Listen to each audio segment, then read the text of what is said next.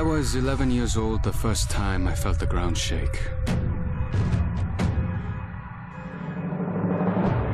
My instinct was to leave. But my grandparents wouldn't hear of it.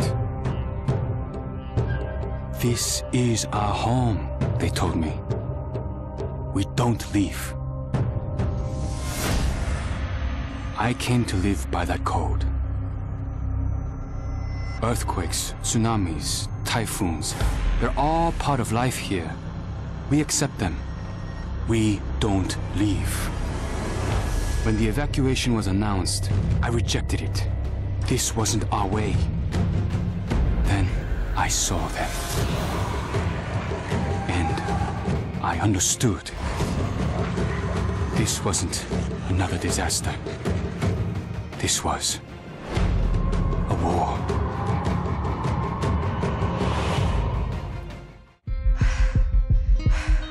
Nobody expected a nine-year-old girl from Tokyo to be fascinated by guns.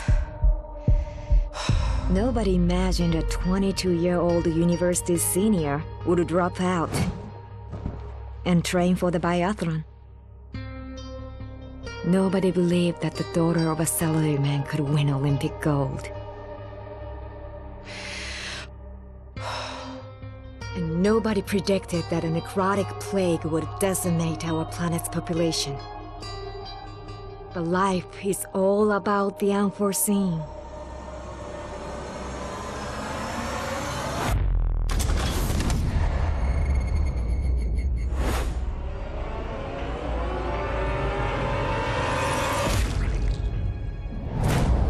And nobody saw me coming either.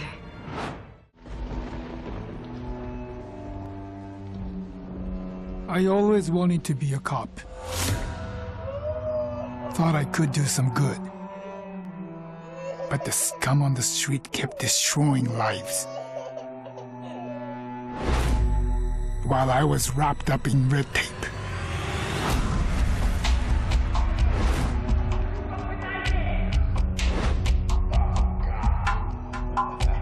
Shackled by senseless laws.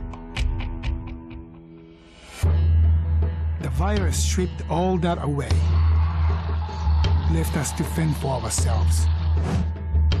And finally, the chains were off.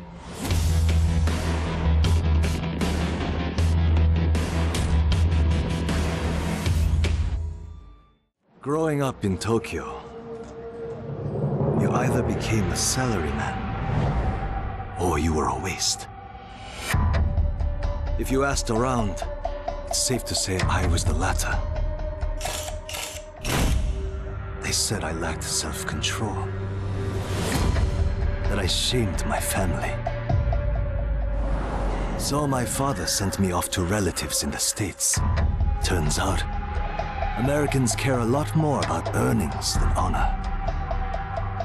Which worked out fine. Until the Zeke showed up.